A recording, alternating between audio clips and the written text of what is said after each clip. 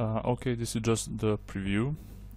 As you can see, uh, we have just simple hello world and uh, three dots in our top right corner. And when we click those, those three dots, we get two items, help and settings.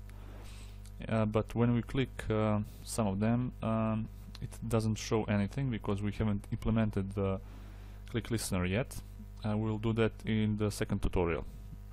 But uh, in this tutorial, we'll just cover uh, how to create those two items.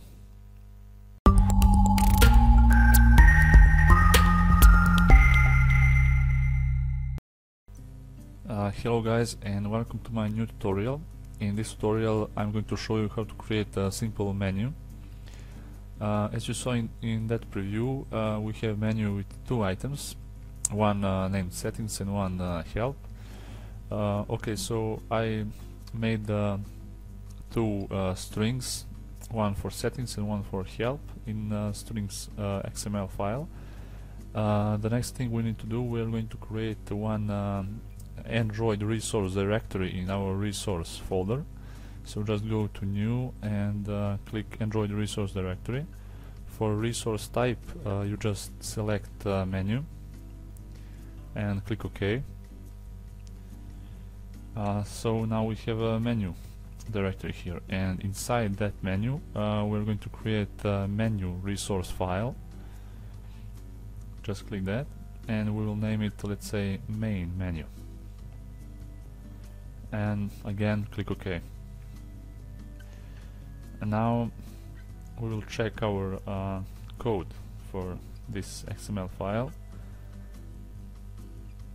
And as you can see the root element is menu and uh, we're going to create two items in here. So uh, start typing.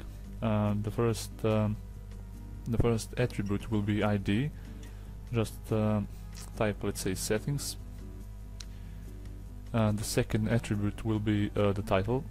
Again we will use the string we already made for settings. And the third attribute will be show as action. What this attribute does it means that if you click if you set always then this item will be shown in action bar. So it will be visible there. But if you click if you set never then um, though uh, that item will be hidden in a menu. So you'll have to click uh, those three dots to show uh, the menu items. So we will choose never. It's uh, it's better I guess and uh, just close the item tag. So we'll copy again this tag and just change uh, ID to help and string help. And after we done that uh, let's uh, switch to main activity. And uh, first we're going to import menu. So type import android dot view dot menu and after that we're going to override a method uh, on create options menu. And we'll uh, delete this uh, first. And we need to inflate uh, our uh, main menu XML so type get menu inflater inflate.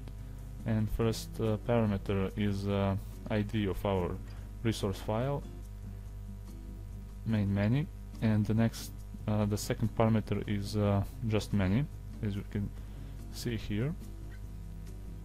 And we will return true.